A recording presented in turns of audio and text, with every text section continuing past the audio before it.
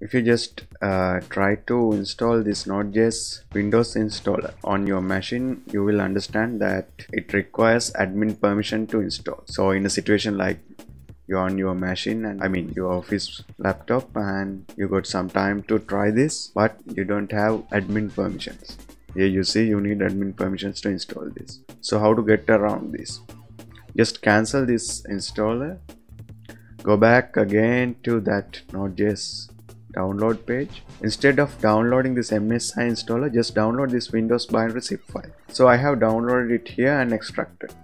In the extraction you see the node is there npm npx as you're aware next thing you have to do is set the path to this node installer. So let's see how we can do it in most efficient way for your future work. Create a simple text file say set path dot and make the extension to bat windows batch file change directory to this directory where you are trying this node.js then is the set path. Set path here is the folder I have extracted that node.js zip file then whatever currently in the path. After that you have to come back to the command prompt so you can execute other node.js commands from there. Now just save it.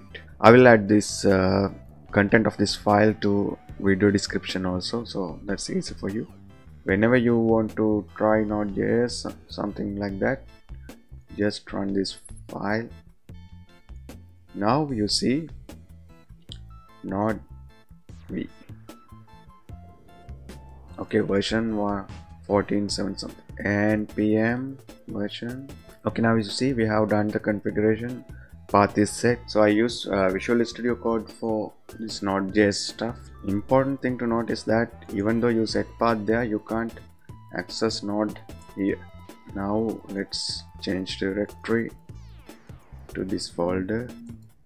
Let's see if it will work you see even then it doesn't work so how to fix this even though you have set path you don't have access to that in visual studio code close this Visual Studio for now. The only fix is we just open the code in the command prompt with current directory here.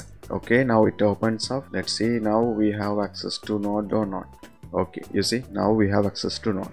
So I think that solves many of your problems. You can start coding right away on any machine even though you are not admin of it. So see you next time. Thanks.